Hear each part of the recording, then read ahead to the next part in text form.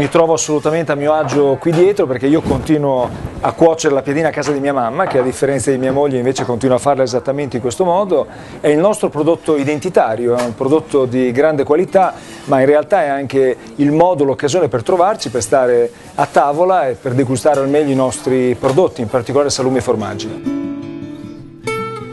E oggi il Festival del Cibo di Strada è un grande evento non solo per la nostra città, lo è ormai almeno per l'intera Emilia Romagna e attira persone, devo dire, da una buona parte d'Europa nelle edizioni che riescono al meglio come è accaduto sino ad oggi. Quindi è veramente un evento importante per noi. Siamo partiti da una fase di profonda revisione della nostra economia, da una crisi economica, simile per dimensione almeno per questo territorio a quella attuale e dal di lì è partito un pezzo di economia nuovo. In realtà sono cambiate anche alcune delle condizioni, le piadaiole hanno consentito alle persone di trovare anche un po' il gusto dell'incontro e la piadina è questo soprattutto. La, la piadina è un è un tesoro storico della città di Cesena. Eh, ognuno in Romagna ritiene di avere la piedina più buona e naturalmente anche noi a Cesena siamo di quest'idea.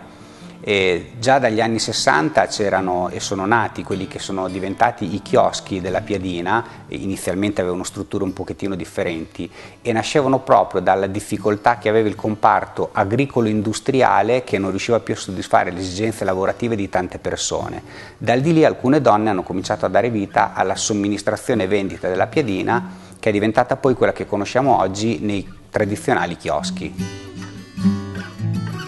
molti turisti che frequentavano e che frequentano la riviera romagnola apprezzavano molto questo prodotto e ne portavano a casa grossi quantitativi. Da qui il fatto di voler presidiare questo tipo di alimento è molto importante per noi e molto simpatico anche davanti alle aspettative delle persone. Nel 2000 è così nato il Festival internazionale del cibo di strada che per noi aveva il significato di partire dall'elemento piadina come mh, proposta tipica appunto da passe mangiare passeggiando per strada.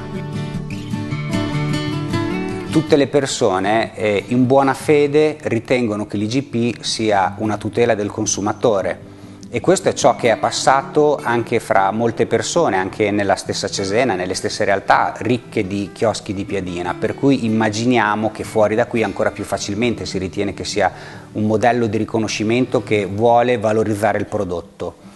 In realtà c'è un paradosso di fondo che noi andiamo a contestare, che contesteremo anche eh, prossimamente, che è che per poter chiamare piadina romagnola questo prodotto occorre sottostare a un disciplinare che è stato concepito e costruito sulla base di quelle che sono le esigenze dell'industria della piadina. Una delle cose, se vogliamo, anche belle e caratterizzanti della piadina è che ci sono piccole differenze che possono eh, variare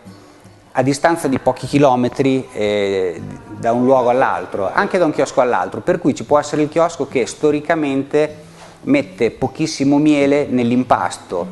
il chiosco che mette un goccio di latte. E quindi ci sono piccolissime sfumature.